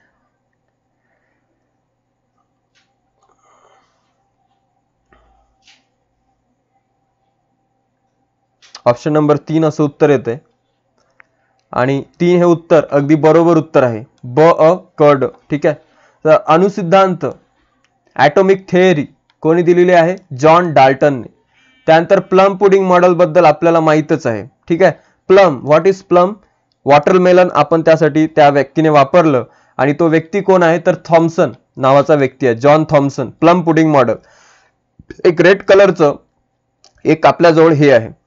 वॉटरमेलन आहे टरबूज आहे. आणि या टरबुजाचा जो अंदरचा भाग आहे तो सगळा रेड ठीक आहे? त्या रेड भागाला त्याने काय म्हटलं? तर त्या रेड भागाला म्हटलं पॉझिटिव्हली चार्ज मॅटर आणि त्या बिया ज्या आहेत काळ्या त्याला निगेटिव्हली चार्ज इलेक्ट्रॉन असं म्हटलं. ठीक आहे? तर तो होता जॉन थॉम्सन त्यानंतर केंद्रकीय आणि अनिप्र अनुप्रतिकृती. ठीक आहे? तर हे कोण घेतलंय? नील बोर याची ही थेअरी आहे. आणि ग्रहीय अनु प्रतिकृती म्हणजे प्लॅनेटरी मॉडेल कोणी दिलं? रुदरफोर्ड यांनी दिलं okay atomic Dalton theory okay right Rutherford एकोणीसशे अकराला शोध लावला. अनुसिद्धांत डाल्टनचा राईट प्लम पुडिंग मॉडेल थॉम्सनचं केंद्रकीय आणि प्रतिकृती बोर सरांची न्यूक्लिअर मॉडेल आणि प्लॅनेटरी मॉडेल कोणाचं? तर रुदरफोर्ड सरांचं ठीक आहे? ही आकृती थोडीशी लक्षात ठेवा. Plum pudding model by Thomson त्यानंतर पुढील घटनाचे भौतिक बदल व रासायनिक बदल यात वर्गीकरण करा. द दह्याचं दुधाचं दह्यात रूपांतर फळ परिपक्व होणे पाण्याचं बाष्पीभवन होणे जठरामध्ये अन्न पचणे कपडे वाळवणे तुरटीचं गढूळ पाणी स्वच्छ होणे भौतिक बदल आणि रासायनिक बदल यामध्ये तुम्हाला लावायचं आहे यापैकी कोणतं उत्तर बरोबर आहे ते ओळखायचं आहे ठीक आहे?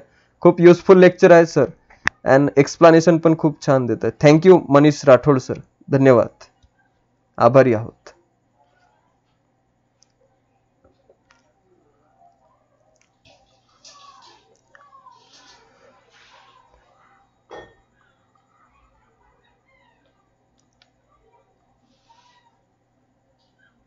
ऑप्शन नंबर चार असं उत्तर दिलंय आणि अगदी बरोबर उत्तर आहे.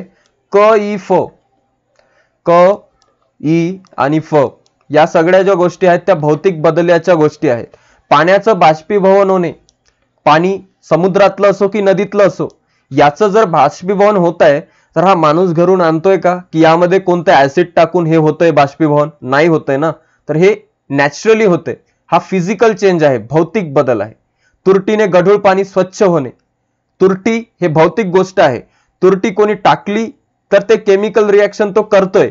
पण नॅचरली घडून आली तर ते एक भौतिक बदल आहे. तुरटी नॉर्मली पाण्यामध्ये जर ॲडिशनली झाली एक गढूळ पाणी असेल तर त्यामध्ये गेली तर तो एक फिजिकल चेंजेस आहे. ठीक आहे? कारण तुरटी हे नॅचरली ऑकरिंग एक केमिकल कंपाऊंड आहे. कपडे वाळणे ठीक आहे? कपडे वाळणे हे सुद्धा एक भौतिक बदल आहे. आता वॉशिंग मशीन लोक वापरतात कपडे सुद्धा वाढतात म्हणतात त्यामध्ये. पण तो जो आहे तो आपण मॅनमेड म्हणजे ज्याला आपण आर्टिफिशियली करतोय. पण कपडे वाळणे नॅचरली हा काय आहे? एक भौतिक बदल आहे. रासायनिक बदल कोणता? तर दह्याचं दुधाचं दह्यात रूपांतर होणे. हे एक रासायनिक क्रिया आहे. फळ परिपक्व होणे.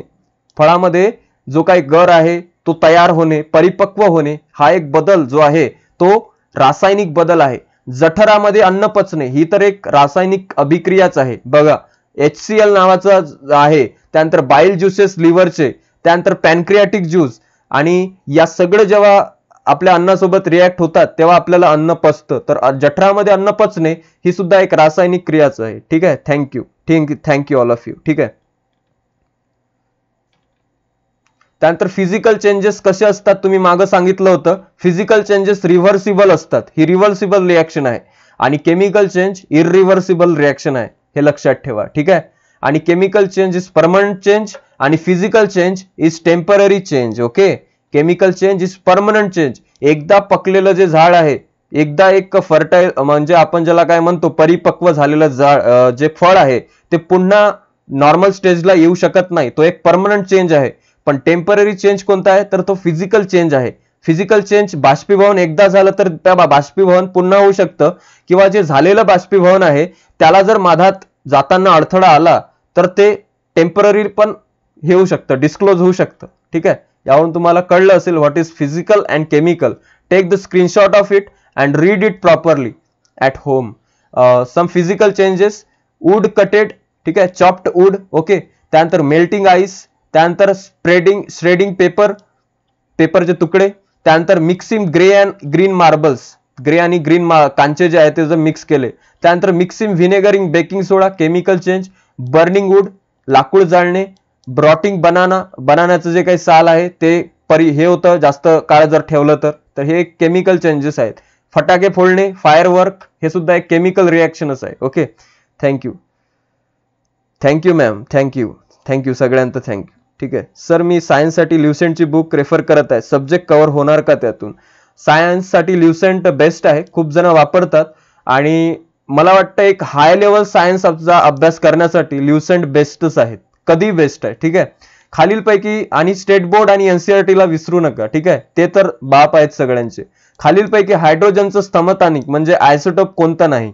प्रोटेनियम ड्युटेरियम टिट्रेनियम ओके तर वरील सर्व आहेत. यापैकी कोणतं ऑप्शन बरोबर? ते तुम्हाला सांगायचं कमेंट बॉक्समध्ये ऑप्शन नंबर चार अगदी बरोबर आहे. तर हे हायड्रोजनचे सगळेच समस्थानिक आहेत. प्रोटिनियम सुद्धा आहे ट्रिटेनियम सुद्धा आहे आणि ड्युटेरियम सुद्धा आहे. ठीक आहे? तर बघा प्रोटॉन न्यूट्रॉन इलेक्ट्रॉन आणि न्यूक्लियस जनरली कशामध्ये प्रेझेंट असतो? ऍटममध्ये प्रेझेंट असतो. आणि आपल्याला बघायचे होते हायड्रोजनचे समस्थानिक. यामध्ये तुम्हाला माहीत असायला पाहिजे समस्थानिक म्हणजे काय? समस्थानिक म्हणजे आयसोटोप आयसोटोप म्हणजे ज्यामध्ये सेम ऍटोमिक नंबर असतो. ऍटोमिक नंबर काय? तर सेम त्यानंतर आयसो बार म्हणजे काय? ज्यामध्ये ऍटोमिक मास नंबर सेम असतो. ॲटोमिक मास नंबर आपण कशाने डिनोट करतो? तर कॅपिटल ए ने डिनोट करतो. आणि ऍटॉमिक नंबर आपण कशाने डिनोट करतो? तर झेड ने डिनोट करतो. हे लक्षात ठेवा. आयसोटोन म्हणजे काय? तर same number of neutron neutron ज्यामध्ये सेम असतात. तर न्यूट्रॉन्स आयसोटोन्स हे थोडंसं रिलेटेड वाटतंय. तर याच्यावरून लक्षात ठेवू शकता तुम्ही की सेम नंबर ऑफ न्यूट्रॉन्स म्हणजेच आयसोटोन्स आणि आयसोबॉर म्हणजे same atomic number denoted as a atomic mass number आणि isotopes atomic number same atomic number okay and these are the hydrogens isotopes generally we know about them protium deuterium and tritium one hydrogen second हे जे आहे आपण वर लिहित असतो ठीक आहे? काय लिहित असतो आपण? वरच्या ठिकाणी. तर आपण वर लिहित असतो ॲटोमिक नंबर आणि ॲटोमिक मास नंबर इथे लिहिला जातो ठीक आहे? थ्री टू वन असं काही असू शकतो ठीक आहे? आपण बघितले आयसोटोप ऑफ हायड्रोजन. त्यानंतर हे एक स्ट्रक्चर आहे अन्न पचनाची क्रिया. गोमेल्युलर फिल्ट्रेशन ट्युब्युलर रिएक्शन आणि ऑल अबाउट दॅट तर पीसीटी कुठं असतं? डीसीटी कुठं असतं? पीसीटीमध्ये कोणती क्रिया होते? तर सिलेक्टिव्ह रिॲब्झॉर्प्शन ज्यालाच आपण ग्रोमेल्युलर फिल्ट्रेशन असं सुद्धा म्हणतो. तर ही क्रिया डी सी टीमध्ये होते हा पीसीटी मध्ये होते. आणि ही कलेक्टिव्ह ट्युब्युल हे कलेक्टिव्ह ट्युब्युलची जे काही प्रक्रिया आहे ज्यामध्ये री सिक्रिशन केलं जातं ही क्रिया इकडे होते. तर हे मी तुम्हाला डिट डिटेलमध्ये सांगतो पुढील आपल्या सेक्शनमध्ये ठीक आहे? लेक्चर अजूनही संपलेलं नाही. अभी तो बस सुरुवात हुई है पिक्चर अभी बाकी है ठीक आहे? तर पुढचा प्रश्न तुमच्यासमोर आहे. लेक्चर कंटिन्यू होईल ओके आयसोटोप टोपीची म्हणजे मास नंबर वेगळा okay Shubham sir nice trick okay same atomic number but deuterium heavy water okay Suyog sir अंगार आहे बस बाई त्यानंतर बघा पुढचं ट्रायगिसलाइड अमिनो ऍसिड आणि मोनोसॅकेराइड कर्बोदके प्रोटीन्स आणि मेद याच्या तुम्हाला जोड्या लावायचे.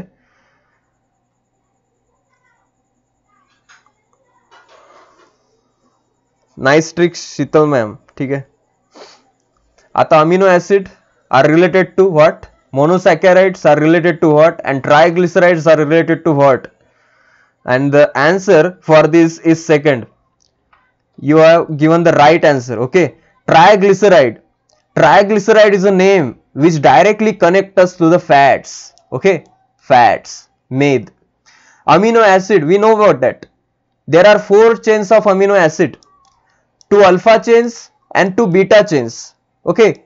And if the minor uh, minor problem occur in any of the chain in alpha chain or beta chain alpha chain मध्ये जर प्रॉब्लेम आला किंवा बीटा चेन मध्ये प्रॉब्लेम आला तर कोणता रोग होतो? थॅलेसेमिया ओके आणि अमिनो ऍसिडच्या या फोर चेन पासून काय तयार होत असतं? प्रोटीन तयार होत असतं. Amino acid proteins what is monosaccharide monosaccharides नावातच अर्थ कार्बोदके ठीक आहे? कार्बोदके कार्बोहायड्रेट्स राईट कार्बोहायड्रेट्स कशामधून मिळतात? पोळीमधून साखरेतून आणि खूप fructose lactose and all are the example examples of carbohydrates trypsin and pepsins are the hormones are the chemicals which secreted by our system and they what they do ते काय करतात? तर अन्न जे काही प्रोटीन पचवण्याची क्रिया ट्रिप्सिन आणि pepsin हे घटक करत असतात. त्यानंतर मेद. मेदाच्या सगळ्यात जास्त कॅलरी आपल्या बॉडीमध्ये एक ग्राम मेदापासून आपल्याला किती कॅलरीज मिळतात? तर नऊ किलो कॅलरीज ओके त्यानंतर आपल्याला प्रोटीन पासून किती कॅलरीज मिळतात? तर four calories from one gram of protein आणि from one gram of carbohydrate we also get four calories right so nine calories from fats four calories from proteins and four calories from carbohydrates okay these are the some questions and ठीक आहे खालीलपैकी हा रोग आनुवांशिक नाही म्हणतात. मधुमेह, कुष्ठरोग, उच्च रक्तदाब या, यापैकी नाही. रोग नाही आहे ठीक आहे? ऍडिपोस टिश्यू राईट सभी के सभी लोग, सभी के सभी लोग आई रिक्वेस्ट यू सभी के सभी लोग एक साथ लाइक बटन पे क्लिक कर दीजिए. जो ब्लैक बटन है उसको नीला कर दीजिए. जल्दी ठीक है? Okay lipase fat digestion trypsin protein digestion okay right option number second असं उत्तर आलंय आणि अगदी बरोबर आहे कुष्ठरोग हा अनुवांशिक रोग नाही. हा एका जीवाणूमुळे होतो. ठीक आहे? आणि त्या जीवाणूचं नाव काय आहे? मायकोबॅक्टेरियम लेप्री असं डिसीजचं नाव आहे. आणि त्या जीवाणूचं नाव आहे मायकोबॅक्टेरियम लेप्रीच आहे ओके ठीक आहे? लेप्रसी असं आपण त्याला इंग्रजीत म्हणतो. हा मधुमेह जो आहे तुमच्या आजोबाला असेल तर तुम्हाला होऊ शकतो. तुमच्या मुलाला होऊ शकतो. मुलाच्या मुलालाही होऊ शकतो. जेनेटिक आहे. उच्च रक्तदाब बीपी आजीला असेल तर तुमच्या पुढच्या नातवाला होऊ शकतो तो. कुठूनही येऊ शकतो. तर हे मधुमेह आणि डायबेटीज हे अनु अनुवांशिक आहेत. पण कुष्ठरोग जो आहे तो अनुवांशिक नाही आहे. ओके त्यानंतर बघा leprosy and it causes by mycobacterium leprae and it is a infectious disease एका व्यक्तीपासून दुसऱ्याला होऊ शकतो. ठीक आहे? ओके आणि यावर याचा एक पॅरेंट डिसीज आहे इन्फेक्शन ठीक आहे? ओके मायकोबॅक्टेरियम लेप्रेसी ओके केलं सर थँक्यू त्यानंतर पोलिओ बद्दल काही विधाने अभ्यासायची आहे. पोलिओ केवळ मानवामध्ये संक्रमित होतो. संक्रमित व्यक्तीचा घसा व आतड्यामध्ये हे विषाणू आढळतात. योग्य नसलेली चुकीची विधानं ओळखा. चुकीची विधानं ओळखा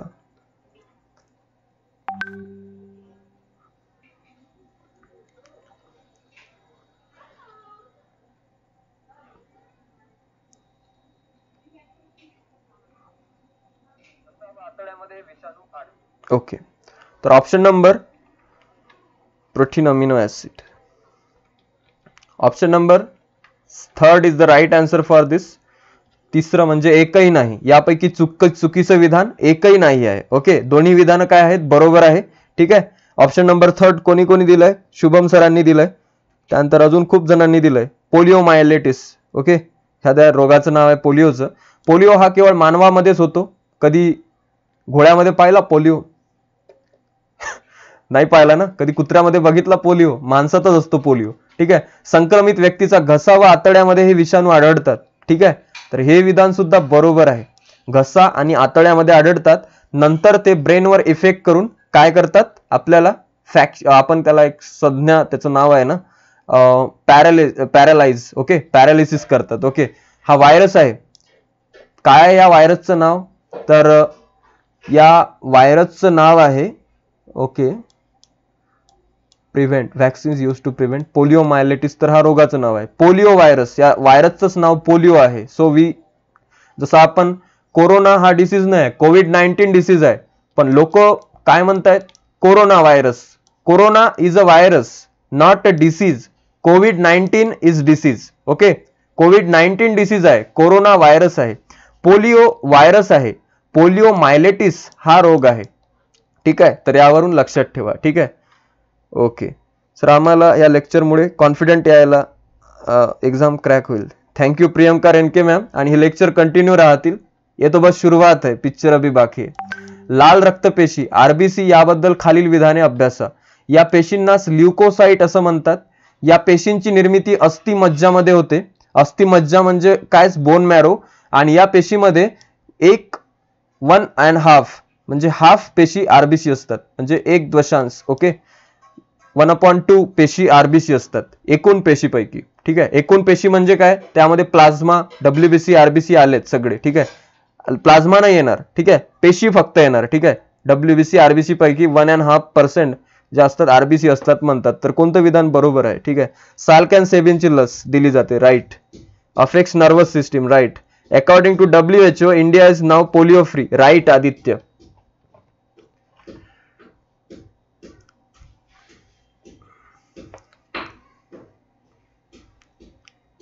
हो डेली असतं. एंटेरो व्हायरस पोलिओचा ओके तर या प्रश्नाचं उत्तर चार उत्तर आहे. केवळ ब ठीक आहे? यापैकी कोणतं विधान बरोबर आहे? फक्त ब विधान बरोबर आहे. या पेशींना ल्युकोसाईट नाही म्हणत मित्रांनो. या पेशींना आपण इरिथ्रोसाइट म्हणतो. आरबीसींना इरिथ्रोसाइट असं म्हणतो आपण.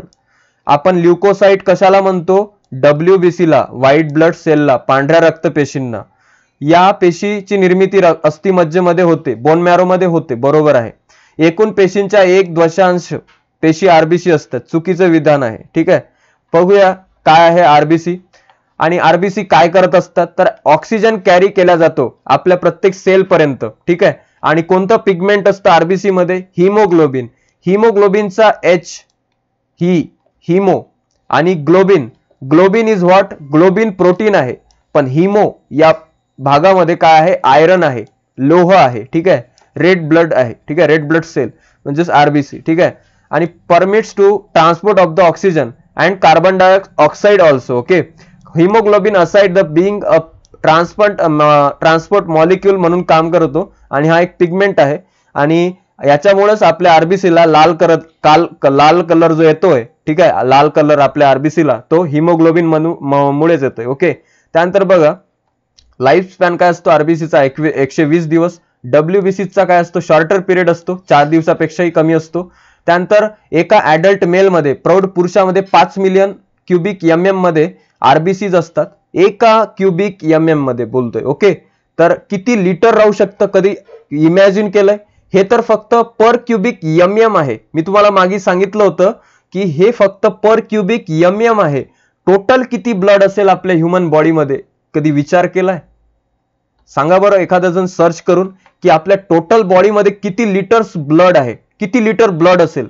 जर एका क्युबिक एम एममध्ये पाच मिलियन आरबीसीज आहेत तर टोटल ब्लडमध्ये किती आरबीसीज असेल? ओके आणि एक बाय कॉन्केव शेपचे असतात ठीक आहे? बाय कॉन्केव शेप म्हणजे असा शेप ओके त्यानंतर प्लेटलेट्स सुद्धा असतात प्लाझ्मा थेरपी सध्या चर्चेत आहे.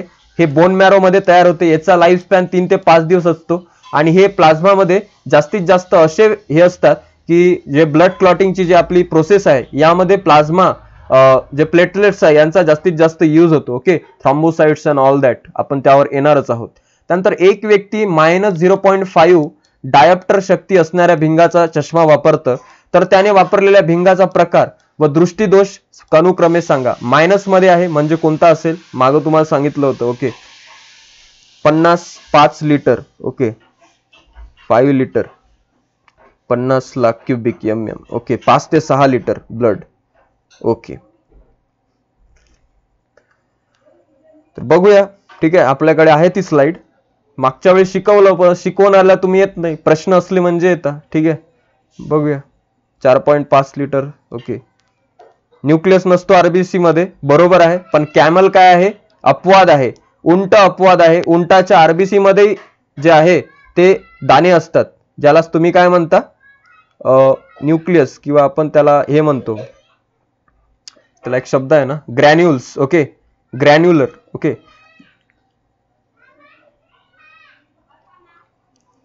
वेटच्या एट पर्सेंट ब्लड आहे आपल्या बॉडीमध्ये या प्रश्नाचं उत्तर ऑप्शन नंबर सेकंड अंतर्वक्र भिंग्र आणि निकट दृष्टीता हा रोग जो आहे त्या व्यक्तीला असेल दृष्टीदोष असेल त्याचा भिंग अंतर्वक्र भिंग असेल. अंतर्वक्र भिंग म्हणजे जो आतल्या बाजूला जातोय. आणि त्याचा जो रोग आहे तो रोग कोणता असेल? निकट दृष्टीता म्हणजेच myopia person can see near by objects but not far away objects त्या व्यक्तीला जवळच्या गोष्टी दिसतील पण दूरच्या गोष्टी दिसणार नाही. नॉर्मली हा जो आपला फोकस असतो तुम्हाला दाखवते प्रोसेस कशी असते. पण बहिर्वक्र भिंग म्हणजे हा बायकॉन्केव असतो कॉन्व्हेक्स लेन्स असते. ठीक आहे? आणि या दूरदृष्टीचा नावाचा त्यामुळे रोग होतो. हा व्यक्ती फार अवे ऑब्जेक्ट याला दूरच्या गोष्टी दिसतात पण जवळच्या दिसत नाही. त्याला हायट हायपर मॅट्रोपिया असं म्हणतात. हायपर मॅट्रोपिया हा बरोबर. त्यानंतर बघा नॉर्मल आयमध्ये काय होत असतं? झूम करून बघूया. जेव्हा आपल्या बॉडी आपल्या डोळ्यावर हे येतो लाइट येतो. लाइट आल्यानंतर काय होतं? तो आपल्या रेटिनावर पडतो. रेटिनावरच्या मागे रॉड्स आणि कोन्स असतात जे आपल्याला काय प्रोव्हाइड करतात? एक कलर प्रोव्हाइड करतात आपल्यावर जी काही इमेज एंटर होते. त्यानंतर हे झालं नॉर्मल आयचं त्यानंतर नियर साइटेड आय म्हणजे यामध्ये ज्याला दूरदृ निकट दृष्टीता ज्याला आपण म्हणतो मायोपिया नावाचा रोग यामध्ये इमेज ट्रान्समिट पूर्ण रेटिनावर होतच नाही. त्याच्या अगोदरच हा जो लाइट आहे तो एंटरप्ट होऊन जातो एंटरप्ट होऊन जातो.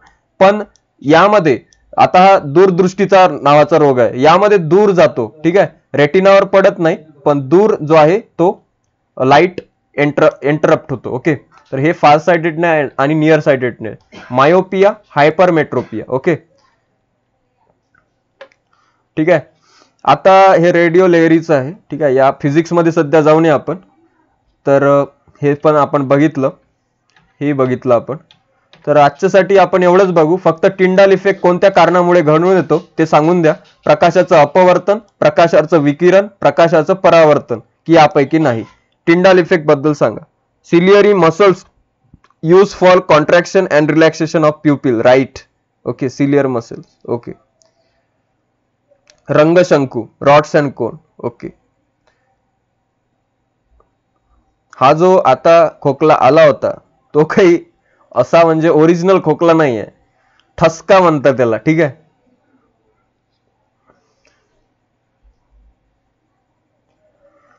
ठसका. ऑप्शन नंबर दोन अगदी बरोबर उत्तर आहे स्कॅटरिंग ऑफ लाइट प्रकाशाचं विकिरण टिंडाल इफेक्टचं कोणतं कारण आहे? स्कॅटरिंग ऑफ लाइट अगदी बरोबर. टिंडाल इफेक्ट सोल्युशन मधून जर गेला तर तो दिसत नाही. पण एखाद्या कोलायडेट याच्यामधून मॅटर मधून जर गेला ठीक आहे तर तो डायरेक्टली हे दिसतो. बघा scattering is visible light by collider particles जर याच्यामध्ये कोलायडल पार्टिकल्स असेल एक सोडियम क्लोराईडचं सोल्युशन असेल तर यामध्ये तो लाइट दिसतोय ठीक आहे स्कॅटर होतोय. पण यामधून तो दिसत नाही ह्या सोल्युशन मधून तो दिसत नाही ठीक आहे. याबद्दल तुम्हाला जर काही अजून माहिती असेल तर तुम्ही ते कमेंट बॉक्समध्ये टाकू शकता. हा प्रश्न थोडासा कॉन्ट्रोवर्शियल होता. आता एक्झोथर्मिक प्रोसेस जे असतात ते एनर्जी गिव्ह आउट करतात सराउंडिंगला आणि एंडोथर्मिक प्रोसेसेस काय करतात? तर एनर्जी ऍब्झॉर्ब करतात किंवा टेकन अप करतात. आणि डेल्टा एच एनर्जीचा जो असतो इथं पॉझिटिव्ह असतो आणि इथं निगेटिव्ह असतो एक्झोथर्मिकमध्ये. ठीक आहे? यामध्ये असंतृप्त मेदाम्ले सॅच्युरेटेड फॅटी ऍसिड मुख्यतः प्राणीज आम्ले म्हणजेच अॅनिमल फ्लॅट्स होय आणि संतृप्त आम्ले सॅच्युरेटेड फॅटी ऍसिड मुक्त वनस्पती मेदाम्ले होय. तर हे इंटरेस्ट दोन्ही चुकीचे आहेत. तर बघा संतृप्त मेदाम्ले जे असतात ते प्राणीज मेदाम्ले असतात. ठीक आहे? संतृप्त म्हणजे सॅच्युरेटेड फॅटी ऍसिड जे आहे ते प्राण्यातून आपल्याला आढळतं त्यांच्या फॅटमधून आढळतं. पण अनसॅच्युरेटेड फॅटी ऍसिड जे आहे ते वनस्पतीतून आपल्याला आढळतं जे की प्युअर असतं. आणि आपल्याला दोन्ही गोष्टींची गरज असते. ठीक आहे? हे सुद्धा लक्षात ठेवा. ओके? तर thanks to all of you आजच्यासाठी आपण एवढंच बघू. आणि उद्याच्या लेक्चरमध्ये कोणता विषय घ्यायचा तो कमेंट बॉक्समध्ये स्पॅम करा. आणि एक नंबर आहे आपला त्यावर तुमचा अभिप्राय तुम्ही कळवू शकता. तो तुम्हाला डिस्क्रिप्शन बॉक्समध्ये मिळू जाईल. आणि लाईक करायला विसरू नका ठीक आहे? लाईक सबस्क्राईब शेअर तुमची जबाबदारी ठीक आहे? आजच्यासाठी एवढंच बघूया ठीक आहे?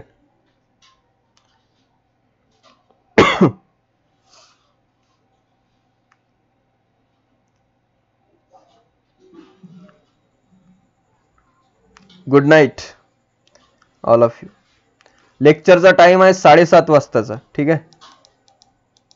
Thank you economics okay Pooja Jadhav ma'am ठीक आहे. आणि आपल्या चॅनलची मेंबरशिप सुद्धा घ्यायला विसरू नका लक्षात ठेवाल ओके इकॉनॉमिक्स ओके बर बघूयात काय होतंय.